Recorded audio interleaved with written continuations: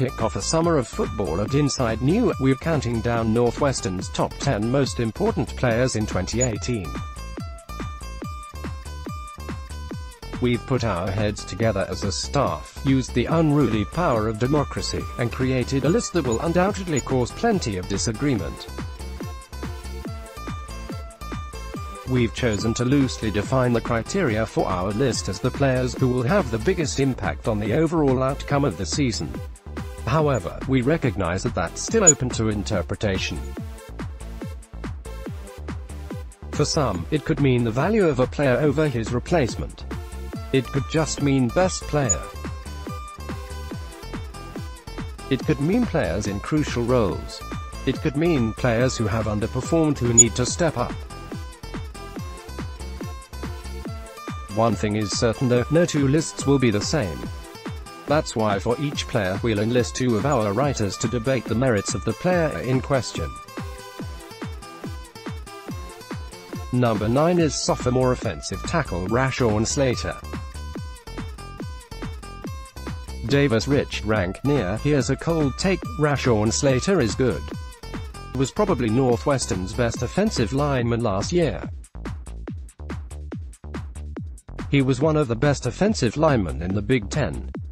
He was arguably the best freshman offensive tackle in the country.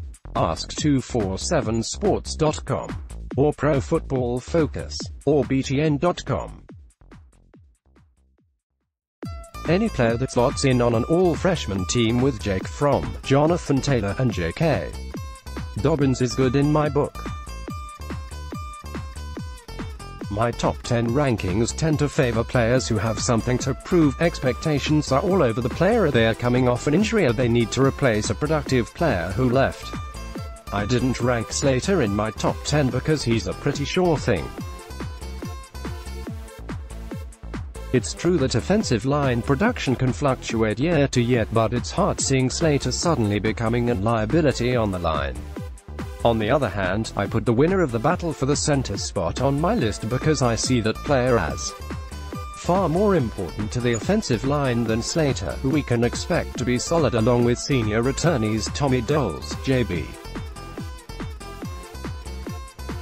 Butler, and Blake Hance. Here's where I say something about only being as strong as your weakest link. Jokes aside, if Northwestern wants to improve on its mediocre performance along the offensive line, I see improvements from Hance and Butler as more crucial. Caleb Friedman, rank 3, while I agree that improvements from less talented players would go a long way in stabilizing the offensive line, I think Slater has the most raw ability and room to grow between his freshman and sophomore seasons. Think about this for a second. Slater didn't enroll early, and stepped right into one of the more cerebral positions on the field and played awesome. With a full year of college-level training and coaching, he could become an elite tackle in year two. It's been a long time since Northwestern had a potential NFL lineman on its team, but Slater has the physical tools to have a chance. He would have been a higher-rated recruit had he not shut down his recruitment early and collected more offers, but he proved to be a key contributor from day one. The reason I have him so high on my list is that I think he could bump over to left tackle and become a complete mauler. With more protection on his blind side and more time to throw, Thorson could start punishing defenses more often with a deep ball, which has been missing for large segments of games. The lines are the most important part of any football game, and the Wildcats are solid on the defensive front.